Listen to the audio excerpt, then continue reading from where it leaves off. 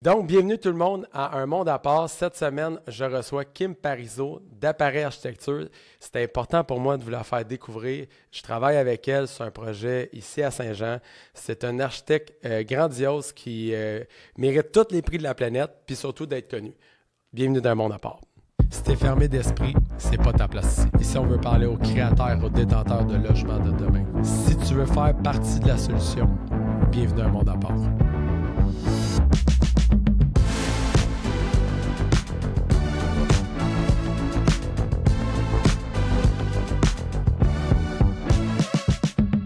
Réalisation et la production du balado Un monde à part est une gracieuseté de propagande. On part. Kim Parizeau, bienvenue dans le podcast. Merci. Fait que là, c'est- je pense que c'est ton premier podcast. C'est la première fois qu'on... C'est mon initiation. Initiation. Bon, bon, on va essayer de, de faire attention à toi. Mais premièrement, merci d'avoir bravé euh, le chemin de Montréal jusqu'à Saint-Jean là, euh, pour, euh, pour venir enregistrer cette émission-là. Je pense que c'est important pour les gens qui te découvrent. là. Puis euh, commençons tout de suite avec ça. Kim Parizeau, tu as étudié en quoi, où, comment, comment que tu es devenue la personne que tu es devenue aujourd'hui? Je peux partir de loin, là, mais disons, Ben- par rapport aux études. ou- Ouais. Ben, si ça vient d'où, ce besoin-là d'architecture? Part de loin. On veut OK, savoir. OK. Je vais te faire un petit résumé, peut-être. J'ai un drôle de père. J'ai eu un père qui était un peu dans le milieu artistique. Quand j'étais très jeune, lui, il avait une boutique de matériel d'artistes. Je, côtoyais plein d'artistes professionnels. Puis c'était mes idoles, j'ai beaucoup euh, côtoyé d'a- d'artistes très connus. Euh, puis eux m'ont comme ouvert à plein de nouvelles façons de voir euh, la vie, voir mm, comment on peut réinterpréter différentes façons de voir une, même chose qui pourrait sembler banale. Puis, à travers les années, j'ai aussi côtoyé des architectes. Fait que mon père m'a plus poussé vers l'architecture. Euh, puis, un peu, euh, il m'a amené en- beaucoup en voyage. Euh, J'ai passé énormément de temps dans les restaurants. Mon père, il, il, il- il mangeait pas à la maison. C'est un gastronome, là. Ah ouais. Fait que lui, euh, il, il payait peut-être pas son appart, mais on allait au Leméac, là. Je comprends. Il y avait un choix fais- douteux de sécurité, mais reste qu'au final, ça t'a ouvert à, à tout. euh, Ouais, puis pour lui, Ce qui c'était pas le bon important, là, la maison. Il a, vécu à toutes sortes de bels endroits, puis en même temps, ben, c'était toujours un peu éphémère, toujours sur le moment présent, euh, qui fonctionnait très bien avec les artistes. Donc, euh, j'ai beaucoup appris à travers ça. Puis j'ai une mère très rationnelle, là, journaliste. Très structurée, Très là. structurée. Euh, c'est là de- dont je viens. Puis, euh, ben, c'est ça. J'ai vite compris que je voulais être en art. Puis après, je voulais, je me suis orientée plus vers euh, l'architecture en passant par le design, design intérieur, entre autres. Euh, fait que c'est, ça qui m'a bâti. Puis Ça ensuite, été ça ta première amour, le design intérieur, ou ça a été plus l'architecture? Est-ce que, lequel qui est venu en premier? c'est l'art au début. L'art. OK, c'est le troisième. oui, c'est plus l'art parce que j'ai travaillé pendant cinq ans dans la boutique de mon père. Puis j'ai côtoyé plein d'artistes professionnels qui, euh, qui me demandaient un blanc de blanc, mais pas le bon blanc. Puis, tu sais, on passait des heures à rechercher la bonne teinte avec eux, le bon pinceau qu'on faisait venir de France. Tu sais, il y avait quelque chose de très inspirant avec eux. Euh, fait que j'ai adoré la, prémisse euh, plus artistique de ma vie. Mais après, je les ai vus grandir et vieillir et passer du grand succès à plus être connu, puis à avoir, pas capable de manger, là. Euh, fait que ça, j'étais très choquée comme euh, adolescente de voir finalement mes, mes artistes, que, mes artistes, ceux qui m'ont suivi quand j'étais Ouais. jeune, les voir finalement dans un état qui était qui était pas glorieux. Fait que je me suis orientée un petit peu plus vers l'architecture. Parce qu'initialement, peut-être, tu aurais eu peut-être l'envie d'être plus un artiste qu'un architecte. Est-ce que tu Ben, je pense que ça se recroise. Ouais. Mais oui, j'avais une envie plus de l'architecture. Puis j'avais une belle-mère qui était française, puis qui vivait dans une espèce de vieux château, euh, vraiment délabré, mais elle était artiste professionnelle. Puis, tu sais, elle, elle m'a vraiment fait comprendre, euh, tu sais, l'idée de la décoration d'intérieur. Tu sais, en France, c'est très fort, là, le- tout ce qui est design L'agencement, d'intérieur. Tu sais, ouais. c'est pas juste... euh, c'est pas juste de faire de l'architecture euh, d'enveloppe, c'est de l'architecture d'intérieur, donc de comprendre que finalement, ce que tu vis, c'est aussi à travers euh, où tu vis, comment tu vis, tu es accompagné par quoi autour de toi. Euh, fait que ça, c'est très jeune, c'était comment j'ai grandi. Est-ce que tu penses que, parce que c'était intéressant, le, le, le bout où là, j'en découvre un peu plus sur toi, puis je te reconnais à travers sais, mettons, les, les, relations que tu as avec tes parents, dans le sens que l'influence, plutôt, tu sais, comme, mettons, ton père plus artistique, ta mère plus structurée, on reconnaît ça, ta belle-mère qui, qui change un agencement. Tu m'as même parlé des artistes qui passaient dans l'atelier à ton père où ils cherchaient une forme de perfection à travers l'art, tu sais, le blanc de blanc, le, le mm-hmm. pinceau qui naît de France. Ça, ça doit laisser un héritage dans toi qui est encore pérenne aujourd'hui, là. En fait, ça donnait beaucoup d'importance à des choses que les gens trouvent insipides, mais qui finalement, quand tu comprends la démarche de l'artiste puis tu vois le résultat, tu comprends pourquoi ils l'ont fait, pourquoi ils ont passé autant de temps à réfléchir. Donc, euh, ça m'habite encore comme architecte de dire, ben finalement, le processus est aussi intéressant que le résultat. Puis le résultat fonctionne souvent parce qu'il y a eu un processus. Ça, c'est fucking important ce que tu dis là. Puis je pense que c'est c'est ça qui fait probablement le fait que tu es la personne que tu es. C'est que. Puis quand je me souviens, quand j'ai commencé à travailler avec toi, je m'intéressais beaucoup à ton travail. Puis même moi, j'étais confronté à me dire, Chris, euh, ça va pas assez vite. Tu sais, quand t'es entrepreneur, tu dis, tu veux que ça aille vite, tabarnak, puis ah ouais, let's go. Bienvenue dans le multilogement. Ouais, c'est ça, exact. puis tu sais, après ça, pas de façon honteuse que je me suis repositionné, mais je me suis dit, OK, Chris, dans le fond, là, quand tu veux acheter une œuvre d'art, tu t'arrives à, à, à la galerie, tu la jettes, elle est déjà faite. Peut-être que le gars, il en a fait plein avant. Peut-être que le gars s'est pratiqué plein de fois. Peut-être que le gars, il a fait un sketch. Mm-hmm. Peut-être. Puis c'est dans ce processus-là, des fois, que les architectes, peut-être. Puis là, je, je, mets ça large, mais j'ai comme l'impression qu'à certains points, à travers le temps, ça s'est perverti. Puis chez vous, ça, c'est resté présent. Le processus est très important chez Appareil, chez toi, chez, dans ton équipe, mm-hmm. dans ton entourage. Bien, chez plus d'architectes qu'on pense. OK. Euh, je trouve que les, les architectes euh, qui le font pas, dans le fond, euh, ils répètent une formule, tandis que les architectes qui, qui veulent faire un peu plus de création, là, ça, ça fait une espèce de division aussi. C'est c'est de réfléchir un peu autrement, d'essayer de re-questionner la commande. J'ai souvent qu'il y a des clients qui viennent me voir pour une maison, euh, ils veulent 4000 pieds carrés, 5 toilettes, euh, 3 suites, là, euh, complètement sur le top de la montagne. Ben, je leur dis non, ça va être en bas de la montagne, 2000 pieds carrés, une toilette. non, je, j'exagère, mais on, tu réfléchis, là. Oui, on réfléchit avec eux. on ne prend pas juste une commande. On essaie de voir qu'est-ce qui va bien servir le client, qu'est-ce qui va être la meilleure chose sur le lieu. Puis j'ai appris de mes pères. Là, avant moi, il y a d'autres architectes là, très fameux au Québec qui ont. Qui a été tes. Euh, mettons, si on, parle de. Pas de, de muse, mais de référents. Tu, tu, nommes des gens qui ont été là avant toi. Mm-hmm. Pour toi, c'est quoi qui est une. Ou un ou des personnes que tu pourrais nommer qui, qui ça serait pour toi de dire, hey, wow, tu sais, c'est un œuvre honorable qu'ils ont fait, tu sais? Ben, quand j'étais jeune, euh, les artistes avec qui mon père euh, fréquentait, il y en avait qui, travaillaient, qui, travaillaient ou qui faisaient des toiles qui allaient à Expo 67, par exemple. Euh, disons, j'ai visité beaucoup de, lieux un peu hors du commun. Là. donc, ça m'a amené à réfléchir à c'est quoi l'architecture. Puis l'architecture des années 60 au Québec était particulièrement intéressante.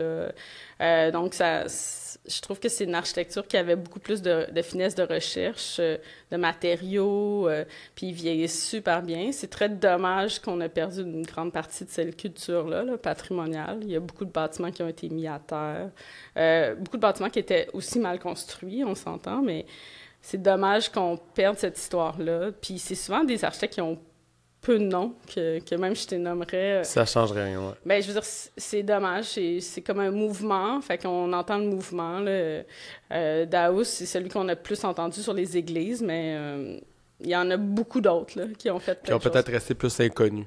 Exact. Mais dans ce mouvement-là, c'est drôle parce que tu as nommé des choses qui est importante. J'ai l'impression que ce courant-là ou ces années-là permettaient un petit peu plus d'exploration puis d'innovation. Puis au niveau social, c'est comme si c'était plus accepté de s'émanciper à travers, mettons, l'architecture qui était considérée carrément comme de l'art, parce que tu faisais de quoi, il fallait que ça soit beau. Oui, puis c'est pas juste faire beau. Ces années-là, c'était beaucoup travailler sur la matière, la lumière. Euh, quand tu visites des, des, des bâtiments de ces années-là, souvent, ben, c'est pour ça qu'ils faisaient des églises, euh, tous les métros de Montréal, l'intégration de la lumière naturelle. L'architecte qui a fait ma maison, Henri Brisson, lui, il a fait aussi le, métro Préfontaine, premier euh, premier architecte qui a fait un métro 100% éclairé naturellement. Quand même. Hein. C'était beaucoup dans l'innovation, dans, dans la, réflexion des matériaux, dans, puis ça vieillit bien finalement, mais il faut juste les entretenir, il faut, faut, les, faut les remettre à jour, euh, faut les encenser, faut, faut réfléchir un peu à l'idée de l'architecte, puis le pousser un peu plus loin, parce que c'est sûr qu'utiliser des matériaux nouveaux à l'époque qui ont peut-être mal vieilli, mais on, peut, on a la responsabilité ensemble de, de revoir notre patrimoine puis l'encourager à rester le plus intéressant possible pour euh, les prochaines générations, là, de ne pas, les, de, pas les mettre à terre, justement. Mais ce qui est intéressant dans ce que tu nommes, c'est, c'est, vrai que l'architecte d'aujourd'hui, c'est lui qui va faire le patrimoine de demain. sais. Puis c'est ça qu'il faut un peu, pas nécessairement glorifier, mais à, mettre en lumière, de dire qu'il y a une responsabilité de la part des architectes, puis une responsabilité de ceux qui, qui placent la commande, disons-là, qui veulent travailler à dire il y a quand même une réflexion à avoir, à dire aujourd'hui, si tu engages un professionnel, que tu travailles avec, que tu lui donnes une commande, il faut lui laisser une certaine forme d'espace parce que lui, il va réfléchir à qu'est-ce qui va être périn demain. C'est un peu ça le rôle de l'architecte. Exact. C'est, c'est pas de construire à tout prix. Puis c'est aussi de bien comprendre la commande. Je, reviens à ça, mais bien comprendre la commande, puis s'assurer, dans le fond, qu'on y répond bien avant de faire le projet. Parce que c'est très facile de juste prendre un bloc puis le répliquer. Là. Mais nous, comme architectes, c'est pas ça le rôle que je vois de l'architecture. C'est quoi le rôle? Euh, le rôle de l'architecte, à mon avis, c'est justement de construire nos villes, nos milieux de vie, euh, construire où est-ce qu'on habite, euh, où est-ce qu'on va pour, le loisir. en fin de semaine, je suis avec mes enfants à l'insectarium qui a été refait par Pelletier-Fontenay, un architecte de Montréal. Donc, tu sais, travailler sur des lieux. Euh, il y a plein de lieux, le centre Phi, là, fait par Atelier Situ. Il y a comme plein de lieux qu'on a accès, qui ont été réfléchis par des architectes au Québec, qui font du très beau, mais qu'on ne sait pas qu'il y a un architecte qui est derrière ces projets-là. Donc, l'impact est grand de, de ce qu'on fait. Puis ça soit une maison sur une rue, l'impact est grand autant que euh, un multilogement qu'un bâtiment public. Parce que les gens vont y habiter, les gens vont le visiter, les gens vont le voir, ça, fait partie de notre environnement. Je pense que le travail est très important, puis ça, pousse aussi à réfléchir, à dire, à penser autrement. Puis en matière de penser autrement, je pense, je ne vais pas coller ça ici, mais je pense que tu as gagné un prix cette semaine par rapport à un, projet que tu as fait. Tu peux-tu en parler un petit peu? Ben, on a gagné deux prix. Deux prix, excuse-moi. Mais merci, c'est une bonne rectification. Vas-y, c'est quoi ça qu'on a ben, gagné? Le premier prix, c'était pour un concours qu'on a fait euh, avec une super belle équipe, là, Agence spatiale, Appareil Architecture, puis BGLA. Euh, Agence spatiale, puis Appareil Architecture, on était deux équipes qui n'avons pas fait beaucoup d'écoles. Euh, fait qu'on a participé à un concours qui s'appelle École, que vous avez entendu parler sûrement dans les oui. jours. Puis un livre. Oui, le, le, livre aussi qui a été fait. Euh, puis on s'est associé à BGLA qui, eux, avaient une feuille de route plus importante dans les écoles. Euh, donc, on a participé à un concours, on a gagné, ces cinq écoles à réaliser, on en a gagné une qui, finalement, euh, a été réalisée l'année passée. OK, construite, là. Elle est construite, ouais. Cool. Puis là, on a gagné un prix pour cette réalisation-là. Donc, euh, c'est vraiment un prix d'équipe. autant dans le côté de la bécole que tous ceux qui ont fait front, disons, à tous les médias, là, positifs et négatifs par rapport à ce projet-là. Mais l'idée de la c'était de réfléchir autrement. Puis il y a des architectes comme Pierre Thibault qui a fait partie de l'idée au départ euh, sur comment réfléchir à la commande de l'école autrement. Donc, c'est quoi une école primaire? Parce qu'ils ont ciblé les écoles primaires. C'est quoi les, les, espaces qui sont de collaboration, les espaces de classe? Fait que le programme a été revisité pour favoriser beaucoup plus d'échanges. Les enfants sont moins assis à leur bureau. Les enfants sont portés à aller dans des espaces communs, d'apprendre autrement, des classes extérieures, des, tout est pensé pour que les enfants apprennent, lisent des livres dans les escaliers, des gradins, dans le fond, euh, ont des laboratoires, mais ils prennent les, les, les robots qu'ils font dans leur laboratoire, puis ils l'amènent dans les petits espaces plus plus petits, plus à leur échelle. Donc, c'était vraiment de revoir l'école, de proposer quelque chose de différent. On a été publié à travers le monde pour ce projet-là. c'est impressionnant. La feuille de route de toutes les publications, on, a, on cumule peut-être une, je pourrais dire une quinzaine de prix pour ce projet-là, international, pas juste au Québec. Tu parles de la portion de l'école que tu as faite, là. Exact. Quand même, là. Oui, c'est ça. impressionnant on pense que c'est mieux en Scandinavie. Moi, je viens de la... J'ai étudié en Scandinavie. Sûrement que tu vas m'en parler, mais... Oui.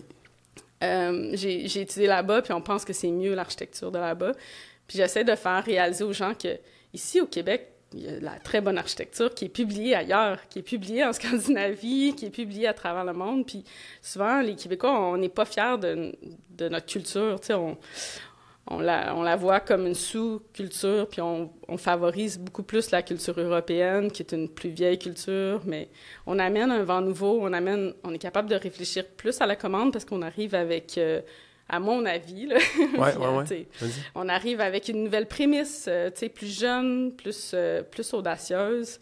On arrive avec des nouvelles idées. Ça passe beaucoup par les concours. C'est nouveau au Québec de faire plus de concours. J'espère que ça va, ça va donner des, des meilleurs projets. Les concours sont souvent une belle formule pour donner des projets de qualité. Fait que le, le lab école qu'on a fait au Saguenay, c'était garant euh, d'avoir une meilleure qualité. Euh, ça nous permet de réfléchir vraiment de A à Z du début de la commande jusqu'à la réalisation, un peu autrement.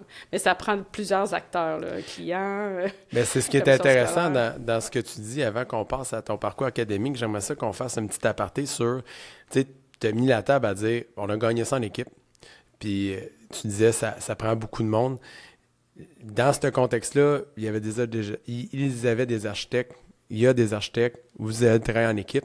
Toi, tu es supporté par une équipe à travers toi-même ce que tu fais. Tu n'es pas tout seul là-dedans. Appareil, c'est un ensemble de personnes, si je comprends bien. Oui, oui, sinon ça serait Kim Parizeau architecte. Oui, c'est ça, exact. c'est pas. Euh, Puis comment, vous, comment tu vois ça, le, travail, le travail d'équipe à travers ta, ta, boîte? Parce que dans le fond, ça s'est bâti, je m'imagine, brique par brique. C'est pas tombé de jour au lendemain une équipe. Là.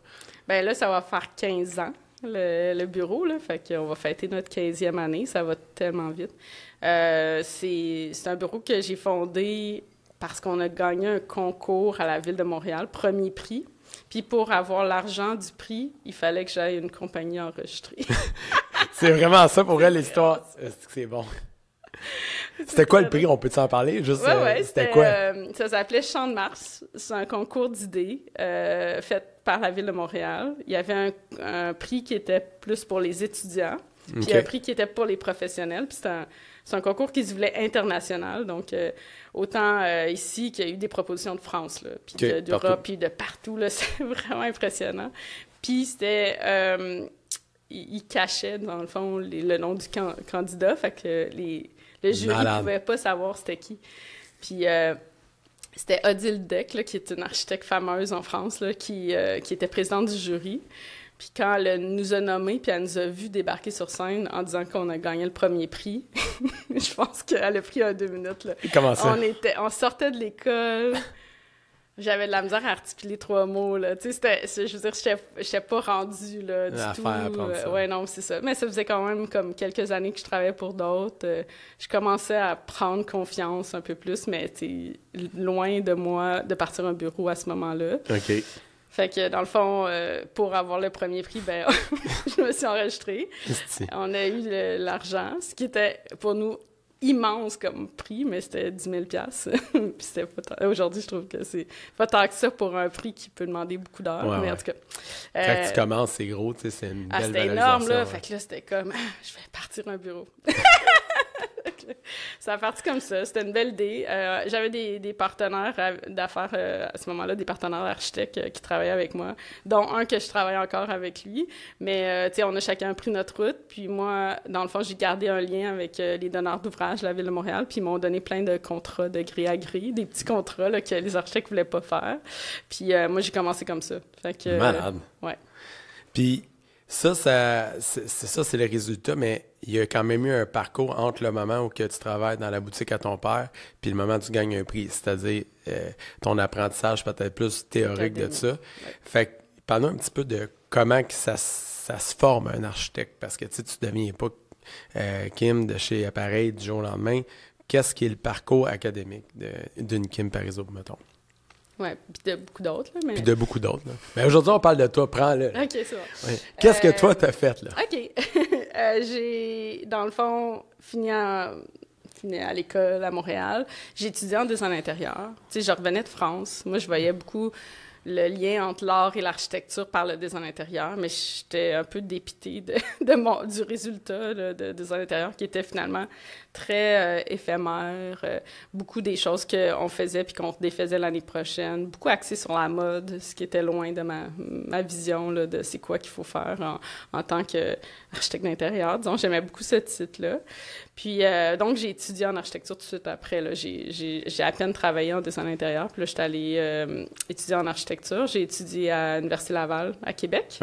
Euh, je voulais changer un peu, justement, de, de milieu. Fait que je suis allée là-bas. L'Université Laval, c'est dans le vieux Québec.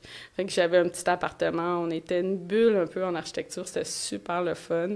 Les profs là-bas étaient exceptionnels. vraiment une super belle équipe, là, encore aujourd'hui. Ma première prof, Anne Vallière, elle m'a engagée parce que moi, j'avais besoin comme d'une job. Je pense que, je sais pas si ça va m'aimer, mais je pense que j'étais payé 10 pièces de l'heure. Puis là, way back, là, c'est ça. Ouais, ouais, C'était longtemps, là, tu sais. Je dirais pas mon âge, mais petit peu. Puis, euh, dans le fond, j'ai commencé, mais c'était comme une super chance, là de travailler avec elle. Fait que dès la, première année de bac, j'ai travaillé dans un bureau aussi. Fait que je travaillais déjà dans un bureau d'architecte. Puis son, son, copain, à l'époque, euh, Gian Piero Moretti, qui est architecte aussi, lui, il venait d'Italie. Fait que j'ai appris à travailler aussi dans des projets qui sont fabriqués, euh, sont montés en Italie. Donc, euh, c'était super intéressant de, le bagage que j'ai j'ai attrapé à travers les années avec eux. J'ai travaillé pour eux euh, peut-être euh, trois, quatre ans. Puis après, ben, j'ai euh, fait une année d'études à Copenhague. Fait que je suis partie à l'Université Laval. On peut aller à l'étranger, comme beaucoup d'universités au Québec. Donc, j'ai étudié à Copenhague pendant un an à l'Université de Copenhague. puis c'était super comme expérience. C'est choquant d'arriver dans un autre contexte. Quand je suis arrivée, il faisait quasiment commencé à faire nuit quasiment toute la journée. Fait que tu te lèves le matin, il fait noir. Euh, parce que leur année commence plus tard puis finit plus tard. En tout cas, fait que c'était dans le temps de Noël. Fait que j'ai passé Noël un peu euh, triste, tout dans un appartement à Copenhague, pas de lumière. non, mais tu sais, mais en même temps, c'était comme c'était intéressant d'avoir ce choc-là dès le début parce qu'après, euh, tu tu te mets dans une situation où est-ce que tu es vraiment comme à l'école, tu apprends, tu es dans un T'es isolé, là. Tu es là pour ça, pour faire, ça. qu'est-ce que Copenhague t'a appris? Parce que la Scandinavie, c'est quelque chose qui semble être important dans tes réalisations. Du moins, c'est une inspiration. Comme tu as d'autres inspirations, mais celle-là, elle, semble être plus accentuée. Qu'est-ce que t'es imprégné de ça? Qu'est-ce qui. Y a-t-il une raison pourquoi? Qu'est-ce que ben, tu été chercher l'architecture là-bas, c'était euh, assez c'est fou, le niveau architectural. La reconnaissance aussi architecturale, dans le fond, les, les gens du public parlaient de l'architecture, les gens connaissaient les architectes associés au projet, euh, les noms des architectes, tout le monde les connaissait dans la rue. Euh, ils, ils enseignaient l'architecture dès le primaire. OK, il y a vraiment, c'est vraiment imprégné. C'est vraiment culturel. C'est très... Puis j'espère qu'au Québec, on s'en va vers ça. ben, ça serait important d'y aller. J'aimerais vraiment ça. Donc, euh, l'idée, c'est vraiment de d'apprendre dès le plus jeune âge, mais aussi d'être sensible à cette culture-là, puis après l'encenser, puis après, ben, tu comprends que l'importance de chaque euh, élément dans la ville devient comme une construction pérenne. On fait rien pour rien, on construit pour l'avenir, on construit mieux, on construit moins éphémère. Euh, donc, c'est ça que j'ai appris. Puis aussi, dans l'école où est-ce que j'étais, il y avait autant du design industriel, donc euh, l'objet, jusqu'au design urbain en passant par l'architecture. Donc, dans la même journée, on pouvait faire une chaise, un bâtiment, puis on l'implantait de façon urbaine. Puis à la fin, l'objectif, c'était de faire un projet qui réunit toutes les échelles. J'ai beaucoup appris parce que c'est ça que je voulais faire quand j'ai parti à Pareil. Tu je voulais vraiment travailler à toutes les échelles. Appareil, ça vient d'un mélange, donc un appareillage, comme un appareillage de briques ou un appareillage de cuisine. OK. Fait que c'est, ça l'idée qui m'a fondé un peu dès le début, puis que j'applique encore aujourd'hui. Puis quand tu parles d'échelle, puis c'est, là, c'est un langage très euh, architectural. D'accord. Qu'est-ce que tu veux faire comme référence? Comme, mettons, moi, pour moi, bien comprendre l'échelle ou la personne qui va nous écouter, qu'est-ce qu'on pourrait expliquer comme une échelle? Quelle est une définition d'une échelle? Ben, dans le fond, en Mettons, pour un enfant, ça va être une échelle à sa hauteur. Est-ce que c'est le que je dois le comprendre? Ça peut être une façon. Quand je parle d'échelle, moi, dans mon travail, c'est de concevoir autant euh, le banc qui va dans ton logement que ton logement en entier, qu'après l'enveloppe qui accueille 20 logements. OK. Ça, toutes les strates, tu vas être impliqué. Oui. Ah, c'est intéressant. Quand tu commences à réfléchir comme ça, ben tu peux euh, réfléchir à optimiser ton pied carré. Je comprends. C'est fort. Fait que là, dans le fond, tu peux commencer à réfléchir à OK, ben j'ai pas de circulation autour de mon lit. Je viens coller un lit, disons ça. Mais il va être tellement bien intégré, je vais pas sentir que c'est un problème, je vais avoir plus de rangement. Ben dû au fait que j'ai pas de corridor autour de mon lit, ben je viens juste de sauver tant de pieds carrés. après, ben la salle de bain, à la place d'avoir un, grand espace, ben je vais cumuler la douche et le bain dans un même petit espace. Je vais revoir un peu, puis là, ça optimise tout en donnant de la qualité. Fait que, tu sais, c'est un modèle qui est peut-être plus européen, là, mais qu'on gagne à, appliquer plus ici. Puis après, ben, ça devient un logement, ça devient une maison ou ça devient un multilogement. Fait qu'on part vraiment l'échelle humaine, c'est-à-dire comment l'humain va agir dans son espace. Puis là, on va venir le, greffer, puis tout le temps faire un effet boule de neige sur la réflexion, comme tout le temps vers l'extérieur, tu sais. Et l'inverse. On va aussi partir de l'extérieur vers l'intérieur. Parce que, tu sais, c'était beau faire un super beau logement.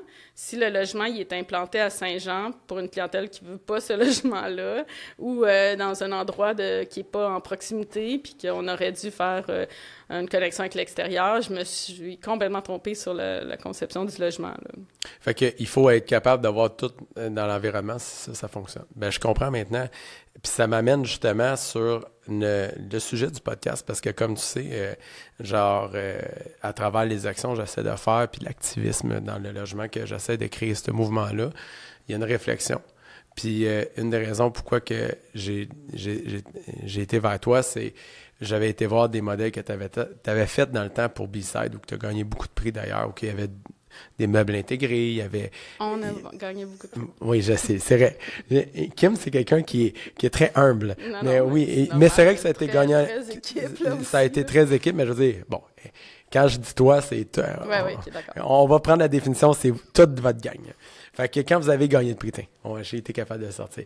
Quand vous avez gagné des prix puis le kit à travers ce projet-là, euh, ça m'a amené à réfléchir, dire, euh, c'est solide, là. Il y a beaucoup, beaucoup de réflexions qui ont été faites. Puis moi, j'avais vu dans le temps un projet qui était à Montréal, qui était le Yimbly, qui est Réseau Sélection, si je me souviens bien, a fait dans Rosemont.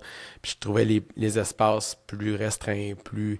Puis euh, je me souviens, des premières fois qu'on s'est rencontrés, tu as amené un livre qui s'appelle Never Too Small.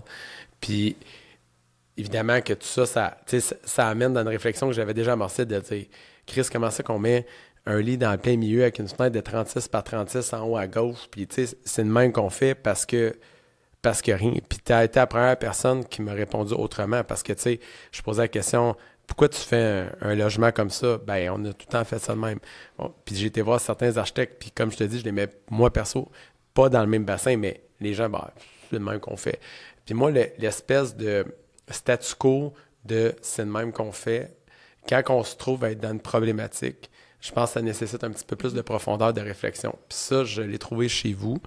Puis ça a été un peu une révélation de dire on va commencer à travailler ensemble parce qu'on s'enligne au moins tout dans, une destination. Pour toi, actuellement, euh, il y a une crise du logement au Québec mm-hmm. euh, qui est quand même. Il y a une crise canadienne. C'est pas le Québec, c'est le Canada, ça pourrait même être à toutes les échelles. À, toutes les échelles. Autant la maison aussi familiale. Exactement, exact. toutes les toutes les strates, on voit un débordement. Évidemment, la strate plus nantie vive moins cette problématique-là, mais la classe moyenne est plus affectée. Euh, moi, je suis de l'école de penser que l'architecture a un, rôle à jouer, puis qu'on a été inerte euh, longtemps dans le, on va dire, dans le multilogement. Ça, c'est une opinion personnelle en niveau d'architecture, de repenser l'habitation pour le kit. Pour toi, ça serait où la première place en architecture qu'on devrait commencer à réfléchir ou que tu as déjà amorcé des réflexions pour essayer de peut-être aider à la crise du logement? Bien, il y a des architectes qui ont fait du multilogement, qui ont, qui ont réfléchi autrement, qui font encore aujourd'hui des très beaux logements. Je trouve qu'il y a beaucoup d'offres d'architectes qui font, qui font ça. Euh, nous, on faisait pas ça jusqu'à quelques années. Je faisais pas d'école non plus. On dirait que c'est peut-être la crise de quarantaine, mais c'est à dire, ben, OK, pourquoi on n'essaye pas de faire d'autres types de bâtiments? Puis finalement, ce que je réalise, c'est qu'en ayant une expérience de d'autres ça m'aide à cibler ou à mieux euh, répondre à, un ou à l'autre. Donc, euh, l'école a été faite en partie en préfabrication pour optimiser les coûts. Euh, l'école qu'on a faite, on a, on, a, on a eu vraiment, ça a été parti avant COVID. avec un budget avant COVID et après COVID, même budget. Donc, il a fallu comme être vraiment intelligent sur toute la, construction, comment optimiser. Euh, fallait travailler avec des acteurs locaux. Euh, fait tu sais, l'apprentissage que, que j'ai fait dans cette école-là, je veux l'amener dans le multilogement, disons. Euh, l'autre prix que j'ai pas parlé encore, mais que, que j'ai gagné à l'heure des architectes euh, avec toute ma gang, c'était vraiment un projet de recherche et développement. Nous, chez Appareil, depuis plusieurs années, on fait de la recherche et développement. Nous, on appelle ça recherche et développement parce qu'on n'a pas de clients. Donc, euh, on a développé. On, a développé des meubles, on a développé des prototypes d'habitation, dont l'idée, pendant après COVID, de, de, dire, mais c'est fou, on est les gens sont plus capables de se payer un chalet. Là. Ils peuvent plus. Ils peuvent plus nous appeler pour un projet d'en bas d'un million, disons. C'est niaiseux, mais c'est. C'est ça, c'est plus faisable. Ben, ça se fait, mais c'est difficile. C'est un parcours de combattant. Je dis pas que c'est impossible. Il y en a qui arrivent à leur fin, puis... Chalet d'architecte, du moins, là, qui a une, une... qualité d'architecture. C'est ça, exact. ça. Quand on sort du générique, disons. Euh, puis le, coût, c'est une valeur aussi. C'est pas juste un, coût pour un coût, là. C'est que nous, quand on parle de coût, on intègre aussi l'intérieur. Fait que ça dépend comment tu parles de coût aussi, là. Mais on, nous, on fait comme un all-in, là, tu sais, dans, dans, le sens où on veut accompagner nos clients, tu sais. Puis on en a des petits projets, là, de ben là, ça, c'est un peu hautain, là, mais de 500 000 versus, on a aussi des maisons de, 4, millions, là, on a de tout en ce moment. Mais on, voulait mieux servir cette clientèle-là parce qu'on trouvait que c'était dommage parce qu'on rentrait dans l'eau, puis vite, ça coûtait tellement trop cher, tu ça devenait inaccessible. Fait qu'on a développé un modèle on the side, là, de modulaire, euh, puis on a, on, a, on a eu beaucoup d'embûches. Les premières fois qu'on a approché des fabricants, ils prenaient une boîte en contreplaqué, ils venaient gicler ça, 4 euh, pouces, puis c'était comme ça, le modulaire. Là. Puis après, ils mettaient des cabines un par-dessus l'autre. C'était comme giclé. Puis là, ça, comme, ça pogne en pain. Puis c'est ça. puis là, on était comme, ben, on, je dis pas que c'est tout mauvais, là, mais ça peut répondre à, à, une un besoin X. Ouais, c'est ça. Sauf que dans la qualité qu'on veut faire, c'est que nous, on veut faire des bâtiments qui vont être bien ventilés, on veut faire des bâtiments qui vont être beaucoup plus périns dans le temps, dans le temps que ce genre de bâtiment-là. Ça, c'est, on, a, on riait au bureau sur le fait que c'est des cabanons isolés, là, tu sais. Fait que si tu veux un cabanon isolé, appelle pas à pareil. Non. mais c'est vrai, c'est vrai ce que tu dis. C'est des choses qui n'ont pas été nommées dans le temps. Tu fais comme, parce que la micro-maison, un moment donné, ou la mini-maison, ça a été un peu galvaudé. Là, ouais, il y a eu de tout, là, dans la qualité. Euh. Puis on compare que les villes, à ils ont fait comme yo, on arrête ça là. là. Parce qu'avant que ça devienne un parc de déchets. Là, exact. Ça. ça dure pas bien non plus dans le temps. Non, vraiment euh, pas. Mais il y a l'innovation dans toutes choses. Donc, euh, on a approché des gens qui sont aussi en innovation, qui ont réfléchi à différentes formules. Fait que, tu sais, c'était l'idée d'approcher des gens, finalement, de ce milieu-là, qui arrivent avec des budgets qui sont pas mal plus décents, mais qu'on peut amener un lot de notre apprentissage, comment on peut ensemble faire un meilleur produit.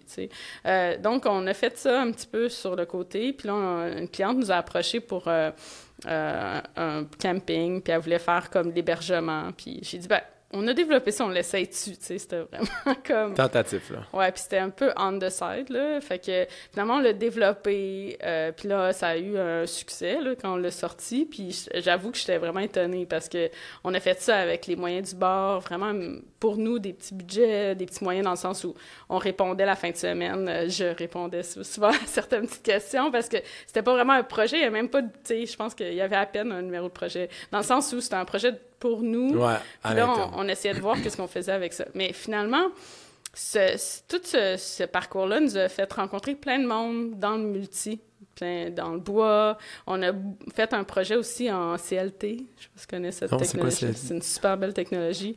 Donc, euh, on a développé une maison qui est 100% faite avec des murs qui sont c'est comme, euh, c'est comme des lamelés collés, disons, pour les poutres, mais c'est tout le mur. Fait qu'il devient, il devient structurel.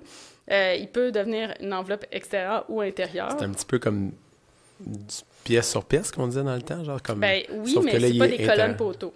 Ah, OK. OK. Fait que c'est vraiment des murs qui sont, qui sont structurels. Puis après, ben, tu peux faire ton toit, tu peux faire. Oui, puis euh, tu sais, il y a des, des, gros joueurs là, qui sont rentrés là-dedans.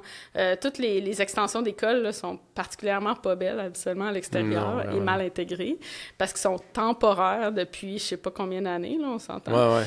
Mais euh, ça, c'est vraiment un fléau en passant. Mais ils ont souvent été faits en CLT à Chibougamau, disons. Ils ont une grosse industrie là, avec Chantier Chibougamau, tu sais, de réfléchir un peu autrement à la rapidité, puis avec un coût fixe.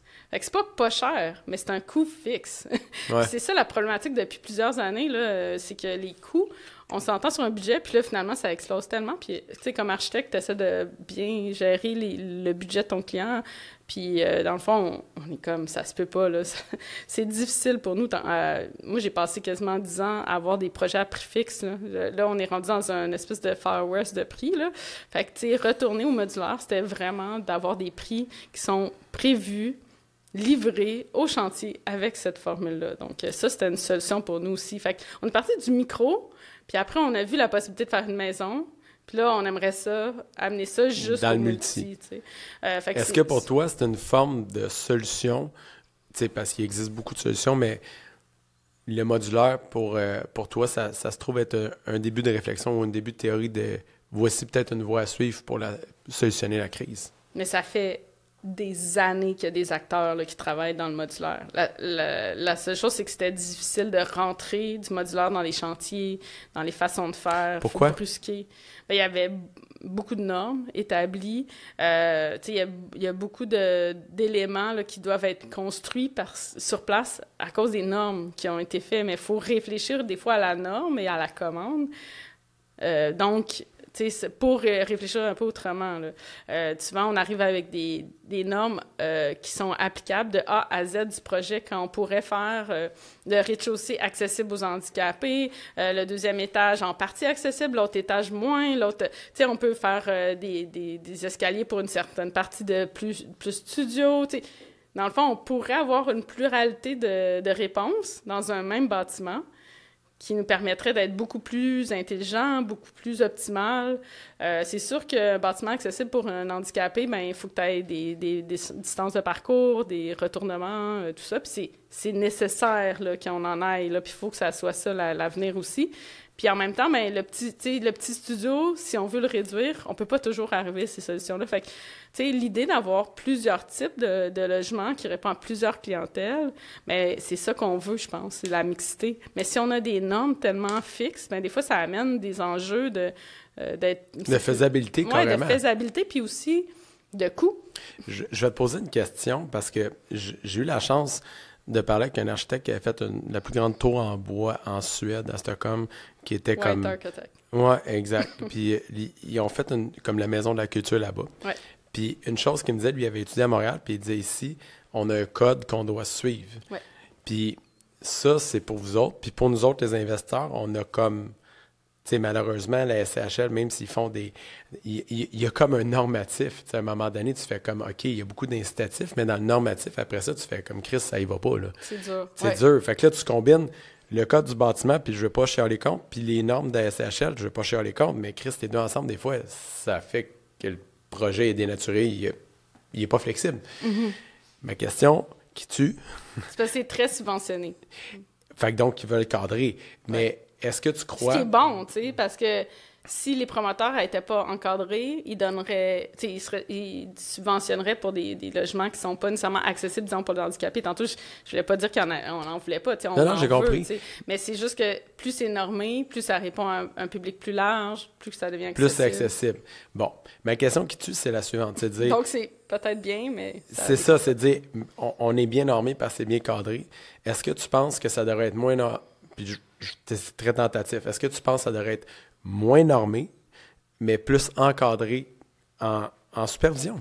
Bien, moi, je suis d'accord avec ça, mais ça prend une culture d'architecte. Tu des, des, fois, il y a beaucoup de promoteurs qui vont dire Je veux les idées de l'architecte, mais après, je tasse l'architecte, puis je vais travailler avec un tech ou je vais travailler avec euh, euh, quelqu'un directement euh, en structure. Bien, ça fonctionne plus là, dans ce cas-là, tu comprends-tu? Parce que l'architecte qui est le responsable de, toutes ces normes-là, puis la qualité du projet, il a été comme mis de, côté. Euh, en Europe, la culture est beaucoup pour la, réflexion architecturale. L'architecte, il, est obligatoire dans toutes les étapes du projet. Donc, euh, euh, je dis pas que dans, dans le multi, les gens, ils tassent toujours leur architecte. Je dis plus que dans le multi, euh, c'est le, le, coût qui drive. Fait qu'à un moment donné, ça fait que tu ne veux pas trop dépenser, les honoraires doivent être bas, les architectes vont charger moins, ils vont venir moins souvent. Fait que là, on est pogné dans ce système-là où est-ce que les gens veulent pas payer pour ça, ils veulent avoir le plus grand incitatif de coût. Donc, la solution en ce moment municipale et gouvernementale, c'est de venir faire beaucoup, beaucoup de normes. Mais dans le fond, moi, je milite pour que les architectes aient une plus grande euh, portée, mais que ça soit jugé. C'est pour ça qu'il y a des CCU qui existent, euh, des comités de toutes sortes, il y en a plein. Là, euh, donc, ces comités-là font en sorte qu'on est obligé de proposer quelque chose de qualité qui répond à certains critères. je ne suis pas contre le normatif non plus, mais je pense que c'est comme de trouver l'équilibre entre tout ça. Oui, parce qu'actuellement, ça laisse peu de place à... Moi, c'est un commentaire de marché.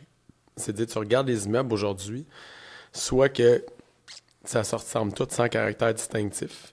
Soit que, tu sais, à un moment donné. Là, ben, la copie conforme qui est répliquée, là, je trouve ça dommage parce que c'est ça notre Québec de demain.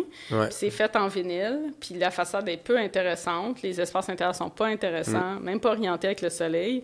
Puis, euh, dans le fond, ben, on sait que ça va passer. Puis on n'a pas, tu sais, on a, on, exact, c'est triste parce que tu dis, tu sais, puis c'est drôle tantôt parce que tu faisais une référence intéressante, tu sais, puis moi, je suis vraiment un amateur du mid-century puis le kit, donc je trouve que ça l'a bien vieilli. Aujourd'hui, on, l'a. C'est quelque chose qui se rénove bien. Tu sais, moi, j'ai un gros background de rénovateur, fait que nécessairement, à un je me suis dit, hey, voici où je vais me camper. Je vais, me camper dans le clan du mid-century. Ça a été bien bâti, ça a été bien fait pour la plupart. Je dis pas qu'il y a eu des échappées, mais tu sais, je, je, me dis aujourd'hui, ce qu'on bâtit, il n'y a aucune comme, il n'y a aucune réflexion pour demain. Là, puis je me souviens quand, je reviens à Bissade, la première fois que j'étais découvert dans ces bâtiments-là, je regardais des planchers en, béton laminé. Et je me disais, Chris, dans, dans 20 ans, s'ils veulent changer, mettre une céramique, mettre un tapis, mettre un, du bois franc, ça, se fait. Il y a, ces périns, les murs, tu peux frapper tant que tu veux dedans. Mm-hmm. Eh ben, c'est en bois. Mm-hmm. En réalité, dans les chalets, tu louches ça tout le temps du monde. Tu sais pas comment il va s'en occuper. Là. Frappe tant que tu veux dans le mur, mon gars, tu mm-hmm. vas te décoller le bras. Là, je veux dire, dans le sens où que c'est pas pétable. Le lit pas pétable. Fait que oui, peut-être ça coûte plus cher là. Tout est pétable, mais, l'objectif, c'est d'en faire moins. Exact. qu'est-ce qu'on fait avec la qualité. Puis de le faire bien.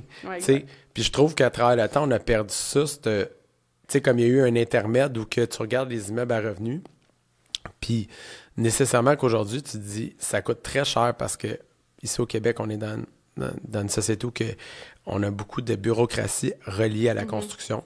Ça, c'est particulier au Québec. Je ne euh, je suis pas là pour juger ça, mais il y a quand même une réflexion à avoir là-dedans. Fait que donc, après ça, on se dit, ben écoute, ça, coûte cher le bâtir. Fait que là, pour le concevoir, on n'est peut-être pas prêt à avoir la réflexion. Fait qu'on va trouver quelqu'un qui va faire de quoi qui ressemble au reste mm-hmm. ou qui veut livrer pas cher. Mm-hmm. Parce que là, c'est une culture du prix, comme tu dis. Puis là, tu te ramasses à la fin à dire, ben là, attends un petit peu, on a bâti pas cher puis on ne s'est même pas posé la question parce que tu sais, mm-hmm. l'immobilier, c'est l'effet de levier puis l'effet du temps. Fait que l'amortissement de l'architecte. Oui, surtout euh, ceux qui gardent leur logement. Ben, tu sais, juste euh, en termes de chauffage, en termes ben, de construction, c'est comme c'est étonnant là parce que les modèles qui sont répliqués sont pas bons nécessairement. Non, exact. si tu orientes mal ton bâtiment, disons, ben, tu pourrais gagner en efficacité, en chauffage, en électricité, en pérennité du bâtiment. Tu sais, fait que c'est toutes des réflexions de base là, on s'entend, mais qui sont pas innées nécessairement. Ceux qui vont vers des architectes de qualité, c'est qu'ils ont des très très gros euh, gros budget, grosse construction. Puis les autres, ils, sont, ils vont vers la qualité souvent, puis ils se font accompagner par l'architecte. Mais après, il y a tout le reste des, promoteurs qui, qui peuvent faire mieux, là, mais qui veulent comme pas mettre ça dans leur chiffrier, dans le fond, là, ou qui veulent le faire, mais juste un petit peu. Fait que nous, on, quand j'ai des clients qui appellent au bureau, je, dis souvent que je prends juste le 10 c'est plate, là. Puis, tu sais, j'essaie d'être super honnête avec eux, puis je veux pas leur dire, euh, hey, on, on veut pas te prendre. Moi, mon objectif, je prendrais 90% c'est juste que euh, le 10 ils vont vouloir euh, payer le juste prix, qu'on les accompagne bien, prendre le temps de faire chaque étape. Ce qui n'est pas une valeur. c'est quand tu es entrepreneur, des fois, tu fais Chris, mais finalement, quand tu comprends, c'est peut-être ça ta, euh, ta, plus grande qualité, c'est de faire comprendre à l'autre, hey, c'est pour ça qu'on le fait. Oui, bien, juste l'optimisation du coût. Là. Mm. Euh, juste hier, mm. là, je parlais à clients qui ont fait un multilogement, puis ils voulaient déjà des plans préliminaires, puis on n'avait même pas fini l'esquisse. OK, on est par étapes en, architecture, donc on n'avait pas fini l'idéation. Puis là, ils voulaient des plans comme pour savoir les compositions type, parce qu'ils voulaient valider combien euh, ça va coûter de, je sais pas, de, de coûts pour faire une mécanique centrale versus des thermopompes, disons. Classique, question en début de projet.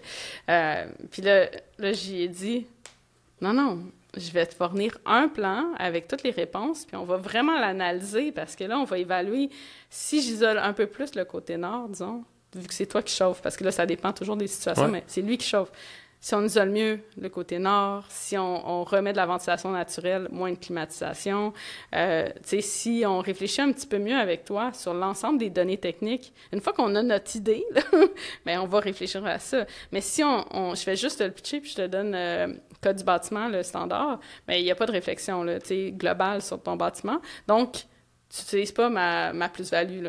Fait que oui, j'ai une plus-value pour ta signature, mais ma plus-value est aussi de la réflexion sur comment il va être opéré, ce bâtiment-là. parce que l'éco-efficacité, tu sais, souvent, dans l'abordabilité, tu sais, on là, je, parle plus en termes techniques pour nos, les investisseurs qui nous écoutent, on parle beaucoup de APH Select abordable, le kit, mais l'éco-efficacité, ça c'est une, gestion des coûts quand toi, tu fournis coûts d'opération. Euh, je t'amène sur un, autre, un autre pan parce que c'est nécessaire.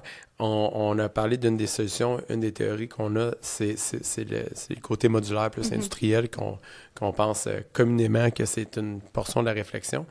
Maintenant, l'optimisation des espaces, parce que dans ton discours, mm-hmm. tu parles beaucoup d'optimisation, optimisation de la mécanique du bâtiment, optimisation. Mm-hmm. L'optimisation des espaces, je, suis curieux de t'entendre sur la façon que les Québécois y, y habitent Mhm. Parce que c'est, tu sais, toi, tu es une fille qui habite en ville, je suis en région. Euh, bon, tout le monde a ses, référents. Comment tu vois l'appartement de demain en matière d'espace? Ben, tu parlais de White Architect tantôt, là. C'est une firme d'architecte en, en, Suède. Puis, c'est en Suède. Oui. Ouais. J'ai eu un doute. Euh, puis, dans le fond, tu sais, il y a d'autres modèles en Europe aussi, mais euh, il y a une longueur d'avance sur ces questions-là. Puis je trouve que leurs solutions, c'est souvent des solutions qui sont hyper ciblées, hyper locales. Donc, euh, ils arrivent avec une tour au centre-ville ou ils arrivent avec un, très bas euh, logement euh, à Saint-Jean, disons. Puis, tu sais, fait que la, la, réponse est locale. La réponse n'est pas internationale. Puis il faut plutôt réfléchir à le plus ciblé, le, site le plus qu'on comprend le mieux on y répond vraiment mieux. Si ton site, il va te demander beaucoup, beaucoup d'excavation, puis que le client, veut faire euh, des stationnements sous-sol, on a plein d'autres solutions. Là, le stationnement, c'est une, une, grosse, euh, un gros enjeu dans le multilogement. C'est comme les premières études, c'est le nombre de stationnements. C'est avant même de faire un bâtiment. Tout à fait. Euh, donc, euh, ça aussi, c'est un peu quelque chose que je pourrais critiquer. Là, on, même si on est en région, on a-tu besoin d'avoir autant d'espace de stationnement? C'est une réflexion à avoir de façon... C'est culturel. Là. Ah, c'est culturel. Là, des fois, on a... ils demandent 20% d'espace vert sur, le, sur un grand terrain, ce qui, est, ce qui est vraiment pas beaucoup. Puis il y a comme, on dirait, j'enlève le bâtiment, il y a 80% d'espace stationnement. Ouais. Juste ben, c'est ça, c'est inacceptable. les villes ont comme un double discours. Il y a un discours pro, pro-environnementaliste, mais de l'autre côté, ils imposent du parking. Oui, de façon. Euh, moi, je, comprends que ça nous prend des charges. J'en ai j'ai beaucoup de moyens de transport chez moi. puis je, je, comprends, j'ai des jumeaux, j'ai besoin d'un char, j'ai besoin de, tu sais, comme ça fait partie de ma vie. Mais est-ce que j'ai toujours besoin d'avoir autant d'espace de voiture? Est-ce qu'on peut le réfléchir autrement? Est-ce que j'utiliserais un autopartage? Est-ce que, est que si on me l'offrait à ma porte, là, euh, fait que, c'est un peu de réfléchir aussi à ça. Puis, il euh, faut faire le pas, il faut y aller, il faut le proposer à la ville. Puis, euh, tu sais, Brossard, maintenant, il propose maintenant d'office aux promoteurs, mais c'est pas, pas C'est quoi qu'il propose exactement? dans le fond, on peut remplacer deux cases de stationnement par une autopartage. Fait que donc, comme Noto, je donne un nom parce que je veux, que les gens ça comprennent. Peut être comme une idée, une idée de même, là. OK. Fait que système de location de, de prêt, on pourrait appeler ça même. Exact. Des fois, il y en a même des locales, tu sais, qui sont pour le bâtiment. OK. Moi, mais ça, j'avais vu ça quelque part, mais c'est intéressant. Oui, oui. Puis, tu sais, ça dépend toujours de combien de logements que tu as, mais ça peut être vraiment intéressant. Puis après, ben ça te fait des espaces verts, ça te fait des espaces euh, pour les enfants, on cible des, jeunes familles. Nous, euh, des fois, on se ramasse à avoir tellement de stationnement que les, tous les, logements au niveau du sol sont, sont devant un stationnement. Là. On essaie d'avoir une, frontière. Mais ça, c'est intéressant parce que là, tu n'as pas répondu à ma question, je vais te la reposer après, mais là, tu m'as parlé d'une affaire que je voulais parler aussi, c'était comment que l'architecte voit son environnement paysager alentour, tu sais. Mm-hmm. Parce que je pense que hein, c'est un tout, puis c'est de quoi que tu as nommé, tu sais, il y a 20% d'espace vert, 80% d'espace de parking, mais la ville va avoir des espaces verts, tu sais, Chris, mm il faut choisir. Mm-hmm. Puis est-ce que l'automobile, puis là, ça, c'est big, puis on n'ira pas là, mais c'est-tu vraiment le, moyen de transport du futur sans contredit, puis qu'il n'y aura pas d'autre option? C'est là que tu soulèves ça. Maintenant, comment qu'une une Kim, comment qu'un appareil, comment qu'une équipe, comment l'architecture au Québec voit ou devrait voir comment l'homme habite dans ces espaces, mm-hmm. son appartement, est-ce que ça doit être revu, réoptimisé? Quelles sont les solutions? Parce que tu travailles beaucoup en meubles intégrés, là. Individuellement, là, tu parles de mobilier intégré, je n'ai peut-être pas suivi. Là, mais... ben, je parle, là, en fait, on optimise les pieds carrés, c'est un game de pieds carrés. Ben, c'est ça, j'allais dire. Individuellement, il faut réfléchir à qu'est-ce qu'on a besoin. Des fois, on se questionne pas assez là, sur nos besoins. on a-tu vraiment besoin d'une maison de 4000 pieds carrés ou est-ce qu'on a besoin d'avoir une cinquième toilette? des fois, on a cette petite réflexion-là au bureau. C'est des bonnes réflexions à avoir. Mais en même temps, on arrive d'un, passé où est-ce que avoir plus, c'était plus. Avoir ça représentait plus. Un gros ah, char, une grosse maison. C'est ça le symbole de la du succès. Tandis que je trouve que, personnellement, le symbole du succès, c'est d'avoir la juste affaire. Le bon char qui répond à ton besoin, mais pas d'en avoir deux. Euh, d'avoir la maison qui répond à ton besoin puis qui va bien vieillir, mais qui n'a pas besoin d'avoir trois chambres de plus au cas où que tu as ta grand-maman qui vienne, puis ton, ton ami, puis ton, ton autre chum qui vient un soir, tu sais. Euh, tu sais, c'est dire, ben finalement, je vais avoir un espace bureau, puis je vais avoir un, lit, puis je vais m'arranger comme ça, tu sais. Euh, puis je pense que en ce moment, ça coûte pas assez cher, disons, la construction, là, pour te brusquer. Là. Ça coûte pas assez cher, la construction, fait que les gens sont comme Ah non, mais je peux encore être dans ce modèle-là. Quand ça va coûter encore un petit coche plus cher, ça sera plus possible de faire aussi grand sans répondre à tes, tes vrais besoins. Là. Puis souvent, euh, tu sais, juste en ce moment, je veux changer de voiture, puis j'étais habituée d'avoir gros dans la voiture, puis euh, j'ai des jumeaux, je l'ai nommé. Là. Euh, mais là, je me questionnais sur mes vraies utilisations j'utilise combien de mon coffre immense? Euh, est-ce que j'ai vraiment besoin d'avoir une, place de plus?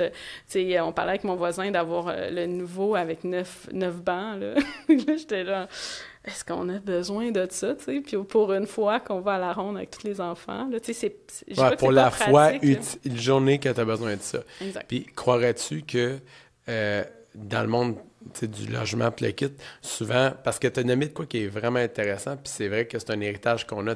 Je pense qu'après les, les, épisodes du Québec économique où ça a peut-être été plus dur, on va dire, que pour nos parents ou nos grands-parents, peut-être, euh, peut-être que plus c'était plus. C'était comme un symbole.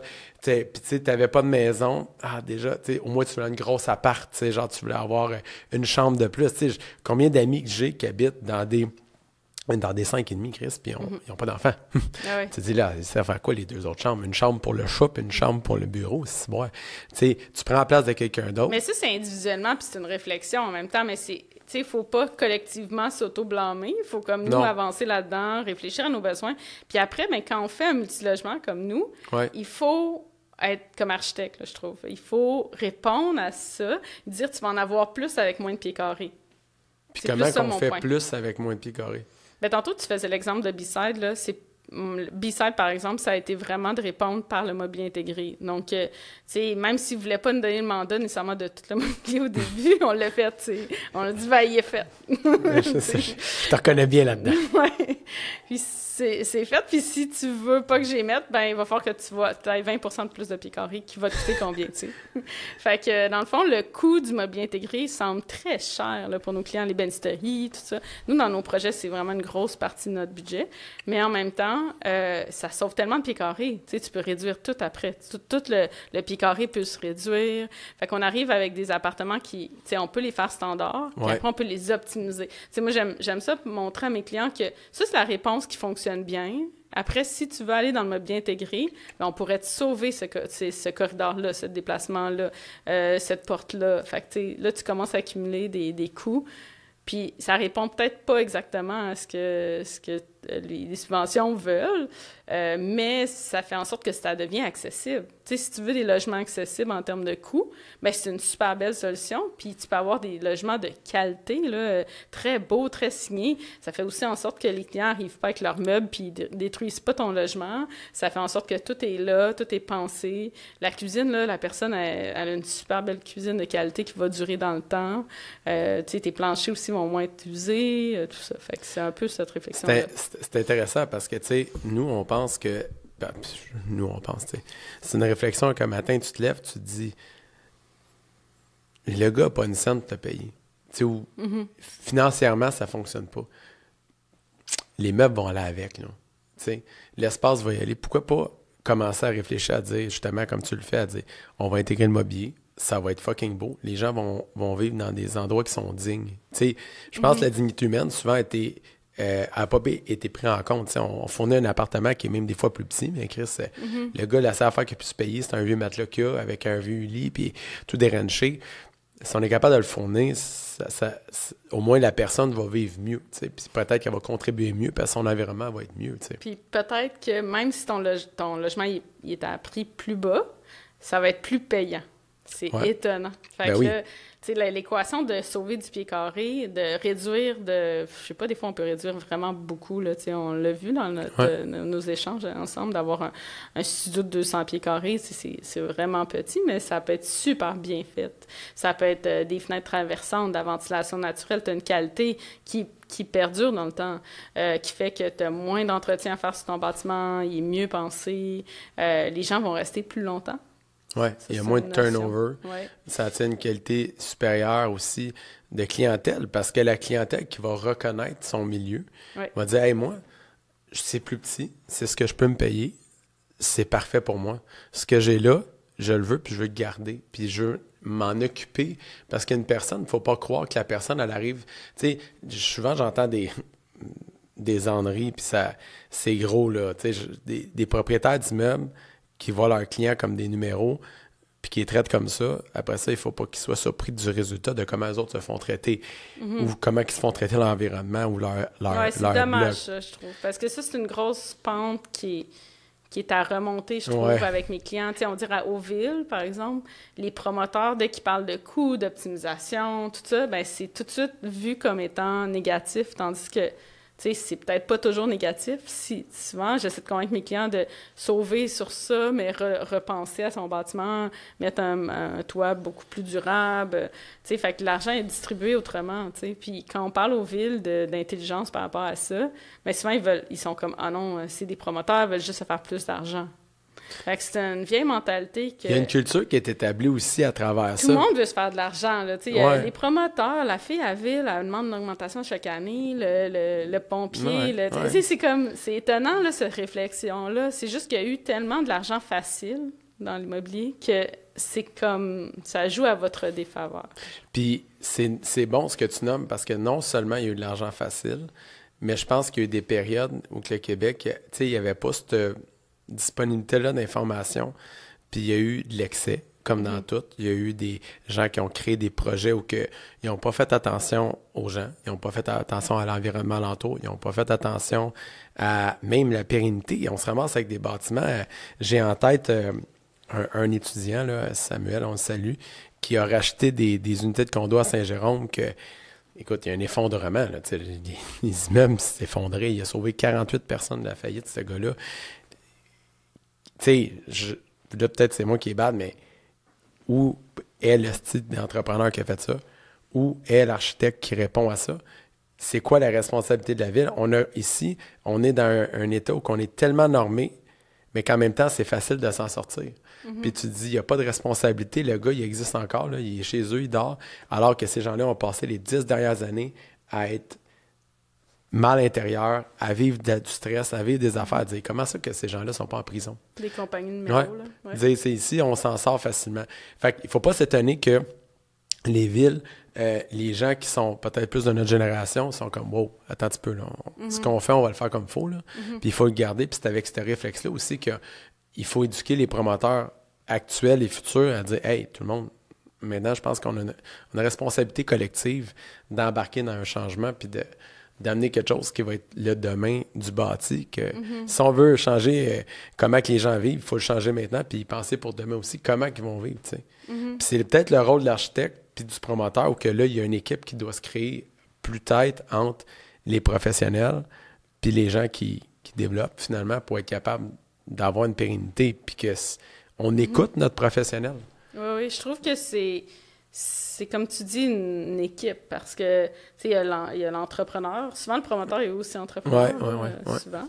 Mais euh, tu sais il y, a la personne qui construit puis c'est correct qu'il sorte des prix puis qu'on les analyse puis que puis dans le fond si tu vois que l'architecte fait partie de ta solution ben tu vas l'inviter à ton meeting puis tu vas tu vas réfléchir avec ton architecte. Tu vas pas juste faire des calculs par toi-même puis là tu arrives puis tu dis ah ça on peut pas le faire Là, tu es comme, mais non, mais ça, on va le garder parce que ça, ça va solutionner plein d'affaires.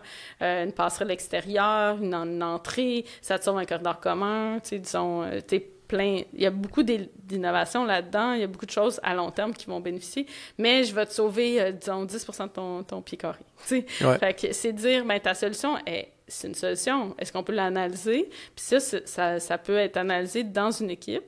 Puis après, c'est la meilleure idée qui gagne. Là, puis ça se peut que ça soit celle de l'entrepreneur, ça se peut que ça soit le client, ça se peut que ça soit la ville. Des fois, la ville, il arrive aussi avec plusieurs... Du contexte. Euh, ouais, plusieurs autres projets, euh, une acceptation sociale, on en a parlé vraiment, dans notre projet, de dire c'est quoi l'acceptation sociale, comment on approche un projet, quand je te disais c'est local, local, local, ben plus c'est local, plus ça répond aux clients, plus ça répond à, l'acceptation sociale, puis on a une approche aussi qui est adaptée pour eux.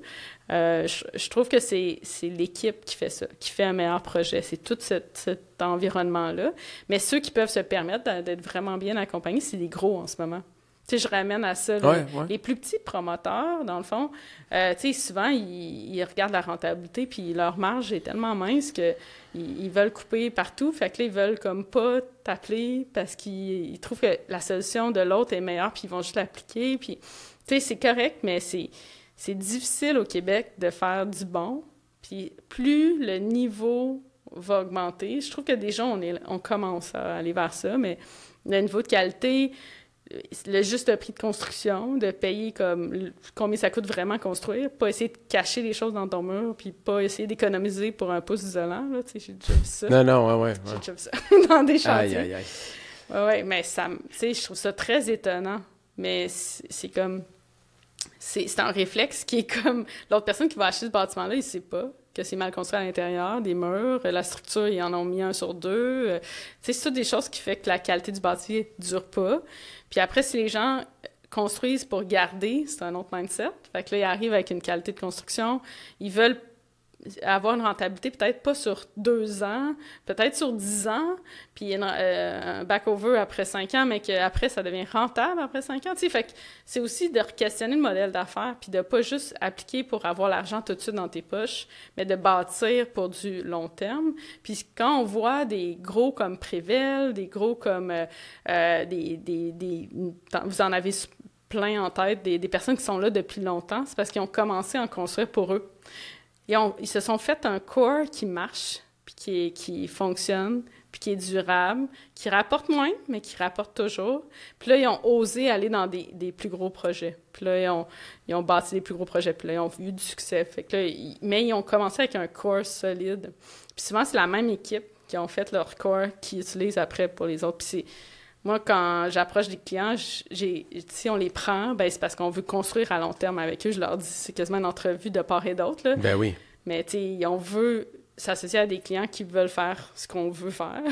Puis on veut qu'on, d'être choisi par eux aussi. Fait que là, ça fait en sorte qu'on on est capable de réfléchir un peu en dehors de la boîte ensemble. Parce que si on réfléchit pas ensemble, ben ça fait un projet qui va être mal exécuté, ils vont respecter la moitié de tes plans, t'en entendras plus parler, toi t'as fait des plans, c'est ça. Moi, j'ai plus le goût de ça. j'ai envie de m'investir dans des projets, en faire moins. On est une petite équipe, on est 10. Fait que chaque projet, pour nous, est super important. On fait pas de, petits projets. C'est pas le budget qui dessine le projet. La micro, ça a pris trois ans à faire. Là, fait que c'était vraiment pas payant. On n'a pas eu... Euh, on n'a pas eu un gros une grande rentabilité, mais ça construit après de faire un plus gros projet. ça met la table, ça fait l'antécédent. Mais il y a une affaire qu'en conclusion, on pourrait, on pourrait sortir, c'est de dire, puis c'est un nugget que tu as laissé tomber rapidement, c'est de dire, ils en font moins, mais ils en font plus longtemps, mm-hmm. puis tout le temps. Puis je pense que dans la réflexion des modèles d'affaires, tu as parlé beaucoup de modèles d'affaires. Mhm. Je pense que le modèle québécois, parce que notre environnement nous, à nous deux, finalement, c'est mhm. Québec, c'est de dire, il est à repenser au, comment que les entrepreneurs, l'architecture, le kit fonctionnent ensemble pour qu'on soit au service de l'humain qui va habiter là pendant 15, 20, 30, 40, 50 ans. Mm-hmm. Puis ce modèle-là est à réfléchir parce que visiblement, il est brisé puis il ne fonctionne pas actuellement. sinon, il se construirait plein de logements.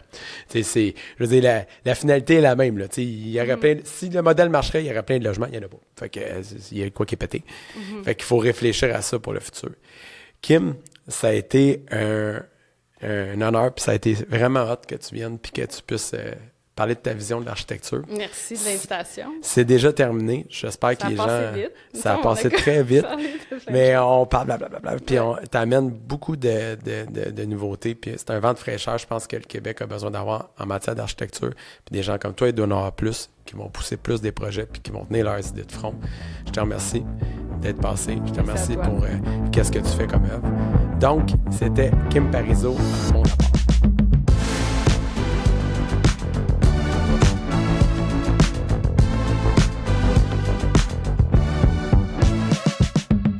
monde à part, c'est aussi euh, du service pour les entrepreneurs, les acteurs du milieu de l'immobilier qui ont besoin d'aide soit en création, soit en accompagnement ou encore en stratégie. Des fois, on est dans des dossiers complexes, on va en vision externe, on va en conseil, on est là pour ça. On a aussi créé l'Institut québécois du logement. Qu'est-ce que c'est l'Institut québécois du logement? Premièrement, c'est une communauté d'experts qui sont là pour transmettre leurs connaissances, pour créer du logement, pour aider dans la détention de logement et expliquer qu'est-ce que devrait être l'investissement immobilier sans oublier l'humain qui est derrière ça. Donc, nos programmes de formation sont faits pour tout le monde et sont accessibles pour aider à comprendre où devrait être l'immobilier, connaître des solutions et des méthodes concrètes pour y arriver.